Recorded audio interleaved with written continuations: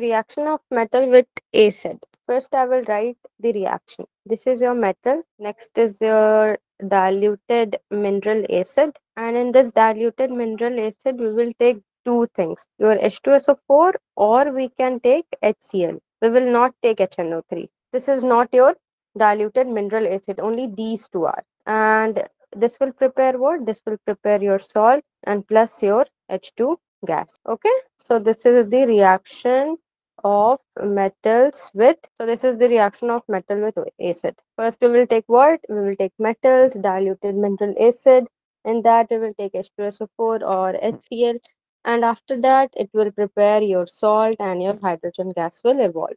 Now let me write some in uh, some reaction. Uh, let's take metal first zinc. Zinc and we are uh, putting the zinc in uh, let's take H2SO4 which is a diluted acid okay? So it will form what?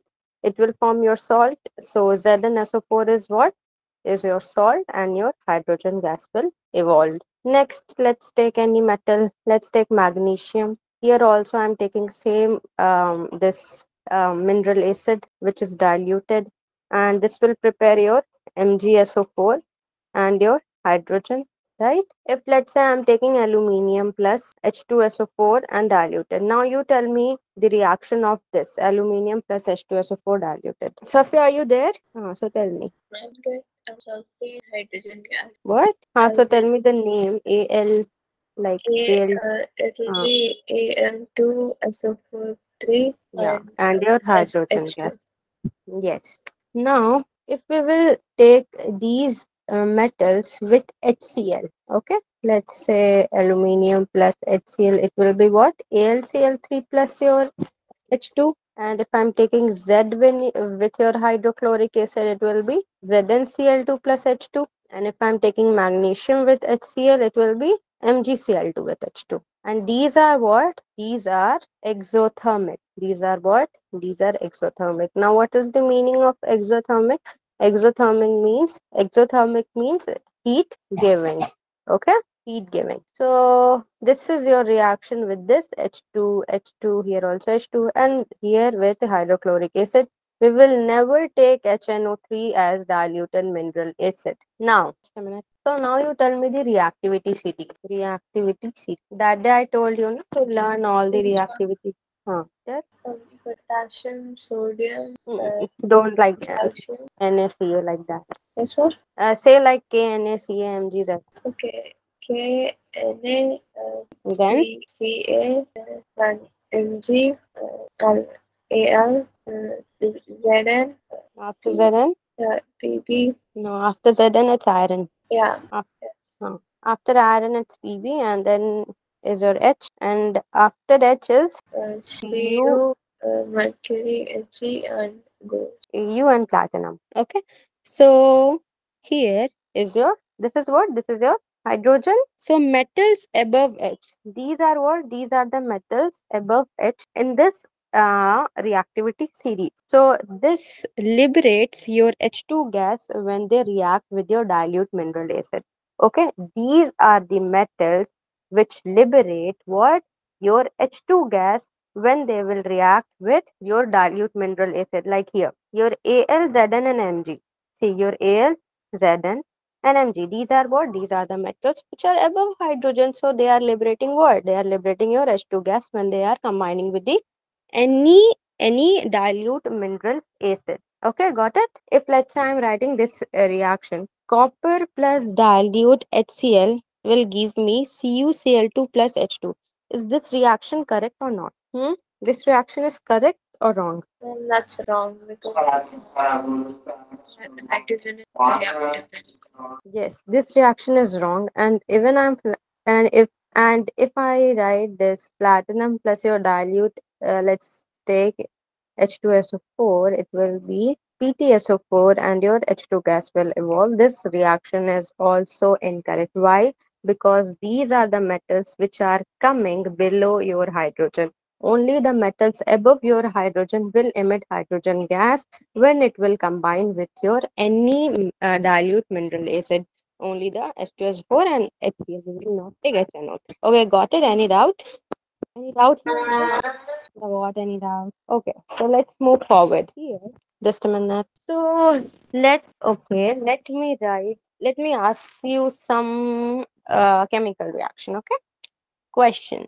Let's take magnesium as a metal and I'm taking here your hydrochloric acid as this dilute. It will give me what? Your iron with HCl diluted acid, it will give me what? Your copper with HCl dilute acid, it will give me what? Your Na with HCl diluted will give me what? Now you solve this and tell me. This part you have to understand that above hydrogen your each and every metal will evolve H2 gas and below hydrogen uh, this is wrong.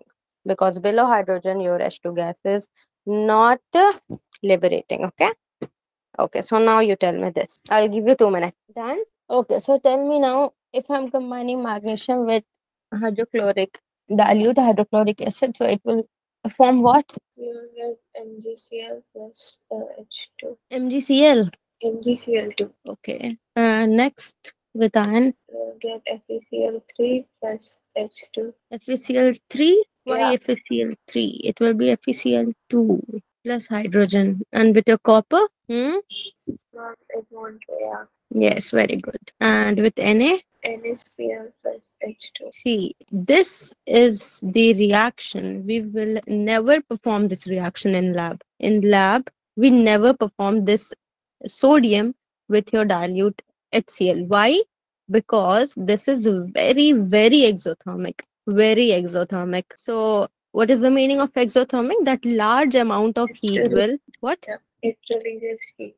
yeah very large amount that's why we never perform this reaction. And one more reaction we will not perform that is your k okay? Potassium also we will not perform and na also we will not perform because these two metals are coming in the very first and second uh, uh, row or column in your this reactivity series okay? So this two reaction we will never perform and this we all know that below hydrogen it will not liberate and these are the two correct ones now if i'm writing a reaction like metal plus your diluted HNO3 will give me heat sorry will give me hydrogen. So this is a wrong reaction. This is what? This is a wrong reaction okay? Only these two reactions are correct with your H2SO4 and with your HCl this HNO3 is not correct now next. Why diluted HNO3 does not evolve H2 gas with metal? Do you know why? No. okay. Why your diluted HNO3 doesn't evolve your hydrogen gas with metal which is above your hydrogen in series? Just so here this uh, why diluted HNO3 doesn't evolve H2 gas with metal above H in series because this your HNO3 is a very strong oxidizing agent is very strong oxidizing agent. And what is the meaning of oxidizing agent? Which supplies your which supplies oxygen. Yes. So if i'm writing this um, reaction zn plus dilute hno3 it will form what? It will form water. Why? Because any hydrogen evolved is oxidized to water है ना? so that's why we will never perform or uh, in this um, what what other product will we get? what What will be the other product? what what Like when this reaction takes place, what will be what will be the other product? Yeah, your voice is not clear. Can you please message me in the chat box? Okay, so here your HNO3 is what? Is very oxidizing agent which supplies O2. That's why in reacting other product in the sense, hmm?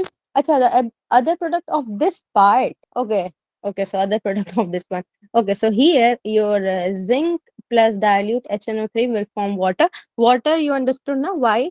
Because any hydrogen evolved is oxidized to water and other will be your um your Zn NO3 twice and your N2O. If we will balance this, then here we will get 4 Zn NO3 twice and it will be your N2O. This is the other product of this reaction. Okay, so here see if I'm writing this HNO3, so in the in if we'll react any metal with HNO3, we will not form H2. Here, your H2 is not forming, right? Your water will form, but your H2 will not form. Now you understood? Sophia got it? Yes, ma'am. These are the other products, this one and this one. Now, one more question that can we obtain H2 gas with dilute HNO3 ever? Hmm? Think and tell me. Can we obtain H2 gas with your diluted HNO3 ever? Can you, uh, do you know some metals with which uh, react with this HNO3? Any metal? No. No? Okay, so we know no, this HNO3 is what? Very strongly oxidizing agent. Only two metals are there. Only your Mg and your Mn.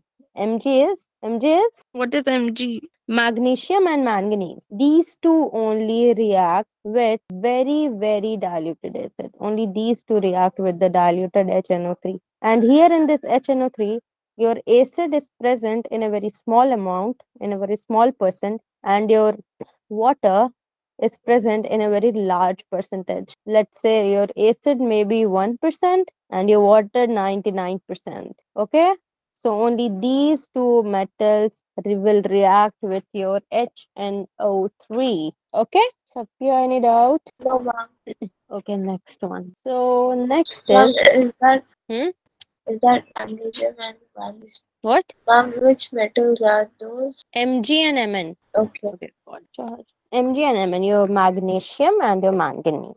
Magnesium, if we will add na magne- magnesium with your this HNO3, we will get magnesium nitrate and your hydrogen gas. Okay?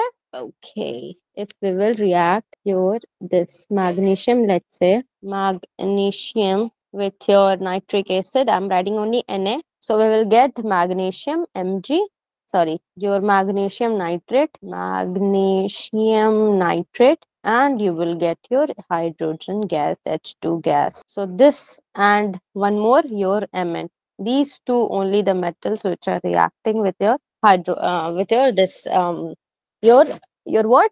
Your nitric acid and forming your H2 gas. Now let's move. Let's go through with this notes. See here, it's what? It's reaction of what?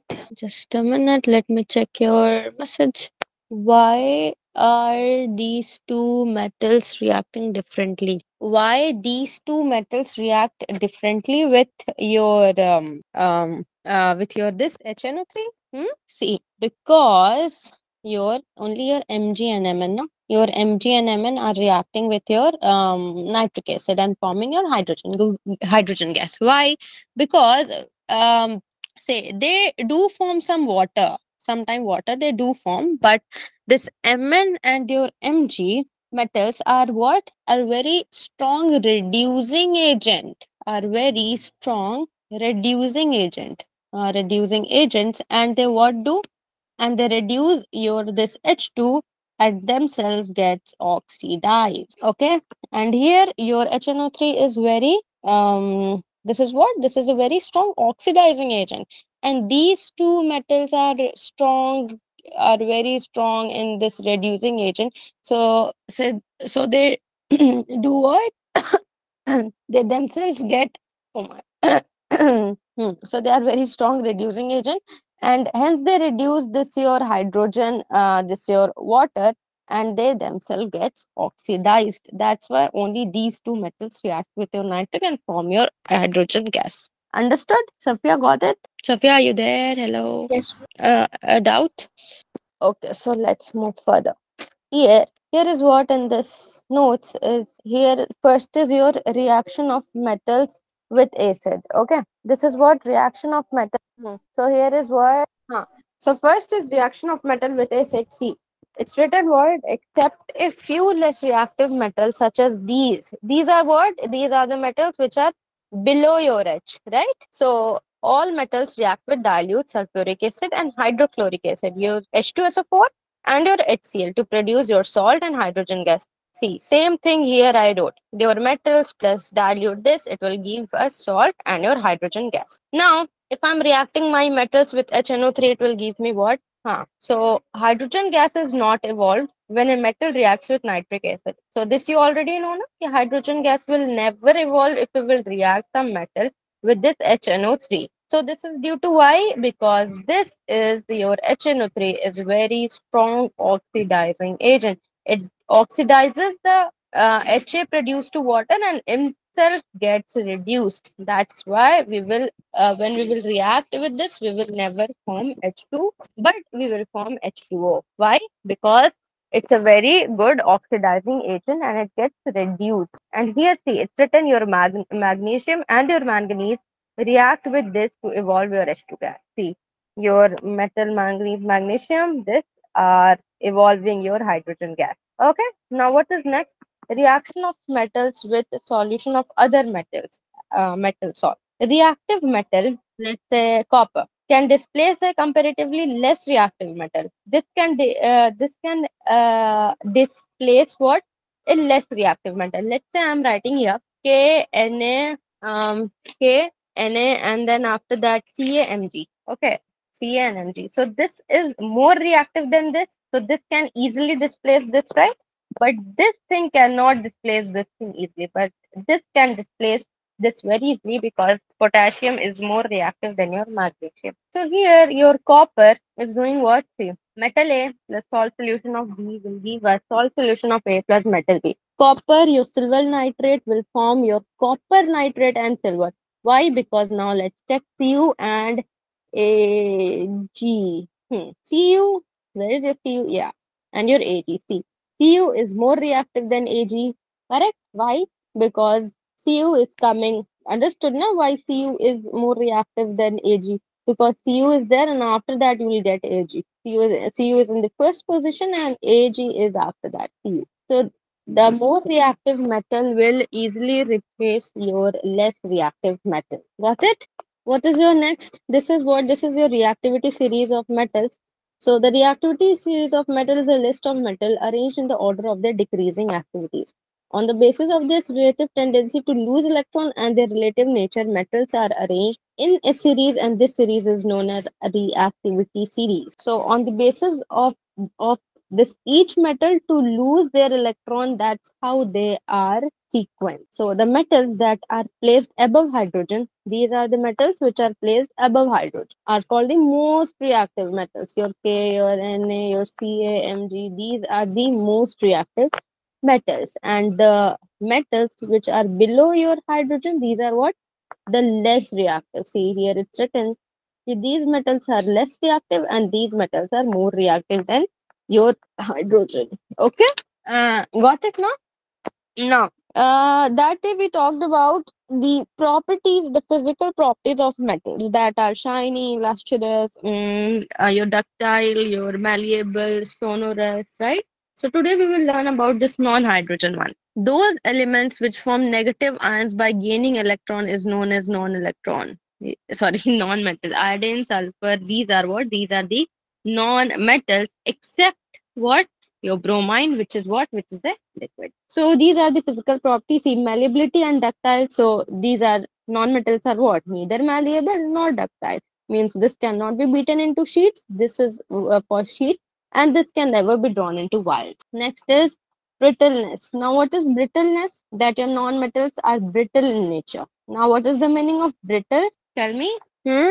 Yeah. It means that it breaks easily. Hmm. Breaks easily. What is the physical state? That most of the non-metals are soft, solid, but only the diamond, which is the very hardest substance, and diamond is what? Diamond is a non-metal. Luster. Spelling L-U-S-T-U-R-E. No? Non-metals do not have luster. They do not have any shiny surface, but the metals have this shiny surface. Next, chemical properties of non-metals. Now, what is the chemical property of non-metal? Yeah, these are, this is the also point. Electrical and thermal conductivity. Non-metals are generally poor conductor of heat. That we all know. But only graphite is a good conductor of electricity. What about your melting and boiling point? Your non-metals will have a low melting point and a low boiling point. And your, what about uh, your metals? Metals will have a very, metals will have a high melting as well as a high boiling point. So just opposite of metal is a non-metal. So the this is what this is a chemical property of non-metal, uh, which is non-metals do not react with water, steam, or dilute acid to evolve H2 gas. your non-metals will never react with your hydrogen, sorry, with your water, with your steam, or with your any kind of dilute acid, your HCl or H2SO4 to evolve this hydrogen gas. Why? Because the reason is that they act as an electron acceptor and cannot supply electrons to H plus ions of acid to reduce the hydrogen gas. These are what? These are themselves electron acceptor. So if anybody uh, is an electron acceptor, so obviously if I am accepting electron, I cannot supply electrons to H plus, right? That's why if they will react with any kind of acid, any kind of water or steam, they will never evolve hydrogen gas. Let's take example of this S is what as your sulfur with H2SO4, you're concentrated, it is forming your SO2 and water. Here, your H2 gas is not evolving because your this thing is itself a electron acceptor and it will never supply your electrons to H plus ions. H plus sulfur with your HNO3. See here, we can uh, react with HNO3, but it will not form your uh, H see here, it's not forming H2. Na? And what is your HNO2? It is an it is this vapor is which in color and a reddish brown in color. The non-metals also show displacement reaction means uh, the thing will get displaced. Here is a chlorine and your sodium bromide. So in the next one, in the product one, it will be your sodium chloride. Means this will combine with this and this is alone. Your bromine is alone. Weird. Okay, got it? Okay, are getting it? Yes. Okay. Now the reaction between the metals and non-metals. So we will learn this in the next class. We will learn about till here we will do today, and the next we will learn about the occurrence of metals. Okay, so this this is what reaction between metals and non-metals. How metals and non-metals react with each other. So it's written word that your each element wants to have a completely filled valence shell. That is, it wants to have either two or eight electrons in the outermost shell. Na? Two, eight. So two is a fill one it is a filament. So each and every element wants their outermost shell to be filled with your two electrons or with your eight electrons. Okay, in the outermost shell. So metals have a tendency to lose electron. Obviously, each and every metals is having a tendency to lose electron to form what? To form a cations. And non-metals have a tendency to gain electron and form an ion. So metals are having tendency to do what? To lose electron to lose electron and form cations, which is positive in charge. And your non-metals will have a tendency to gain electron, to gain electron and become anion, which is negatively charged. I'm not writing negatively, I'll write only negative here. Okay. So your metals have a tendency to lose to form your cation, lose, form cation. Your non-metal have a tendency to gain and to form anion, gain and to form anion. Now, next is what?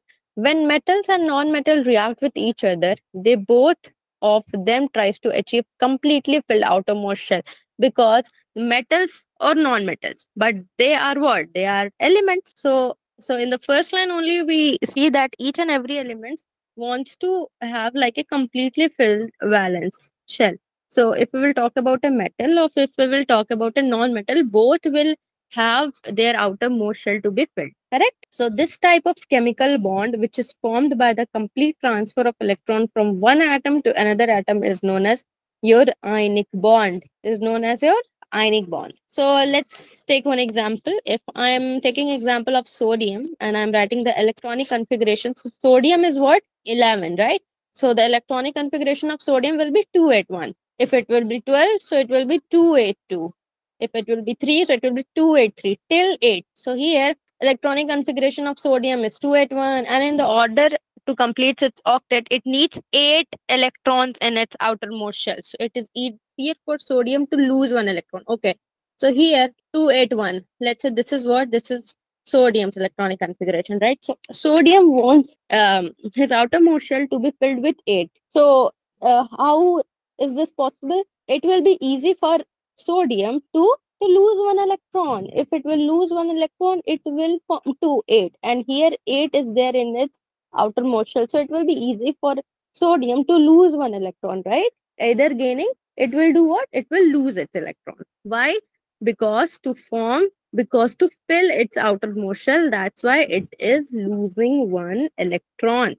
So, huh, from the M shell rather than accepting. See, losing one electron is more, you know, is better than gaining seven electrons. So the tendency to lose one electron have to completely fill valence shell. Similarly, if you will see for chlorine, which is 287. Now you tell me that chlorine is 287. So for chlorine, it is easy to gain one electron or to lose um, seven electrons. Come on, Safia, tell me. Yes. Can you repeat? Hmm? Uh, this is for your chlorine, right? See, here is your chlorine. So for chlorine, it will be simple or easy to lose one elect. Uh, sorry, to lose this all gain. seven electrons or It to gain. gain. Huh, it will gain. Why? Because it only one electron it have to gain and all seven electrons it have to transfer. So gaining is easy than your losing because only one thing only you have uh, chlorine have to gain. So chlorine, if we found that it is easier for chlorine to gain one electron, right? To what? To complete its O, sorry, to complete its eight in its outermost shell. Now you understood now? Ki, what is that? Why each and every metal uh, have matlab, wants to fill their outermost shell with a complete electronic configuration with eight and how we will do that? By losing and by gaining electrons. What is next? If sodium and chlorine react with each other then electron lost by sodium is gained by chlorine. Correct. If electron is lost by your sodium so who will gain? It will gain by the chlorine. So Na plus and Cl minus are being oppositely charged attracts each other. So this becomes what? Your NaCl. So this is a kind of ionic bond. Ionic bond means your combination of these two, your plus and your N uh, minus. So N is plus and your chlorine is minus. So it will so if we will combine these two, we'll get one salt, sodium chloride. Okay, got it? Next. What's the next? Any doubt you can ask me. Properties of ionic compound. Now we will see the properties. Its physical nature is what? They are hard crystalline solid because of their strong force of attraction between negative what is your ionic? Ionic your positive and your negative. So their physical nature is very hard. Hard because of your positive and your negative ions. Then what the what is the melting and boiling point? Melting and boiling point is also very high in this. Why? Because of this inter-ionic attraction of your plus and minus. What about solubility? These co- uh, compounds are soluble in water and insoluble in organic solvents like kerosene benzene these things. These are what? Soluble in water. Now, what is the conduction? So, these are what? The conduction of electricity through a solution involves a movement of charged particle, ionic electrovalent compound. So, these are the good conductors of electricity. Okay, got it? So, today we learned about what? Um, from here, I guess. Yeah. First, reaction of metal with acids, only with these two, dilute sulfuric and hydrochloride. Uh, next, we saw this not a reactivity series because these are the more reactive metals than these ones. Next uh, is what your chemical properties of non-metals uh, react reaction with metal and non-metal. Uh, each and every element wants its outermost um, uh, outermost shell to be filled. So if 281 or 282 or 283, so it's better to lose three electrons than gaining uh, five or six electrons. So these are the properties of ionic compound. Okay, so that's it for today. In the next class, I'll start this. Your reference of metals. Okay, then thank you. Bye.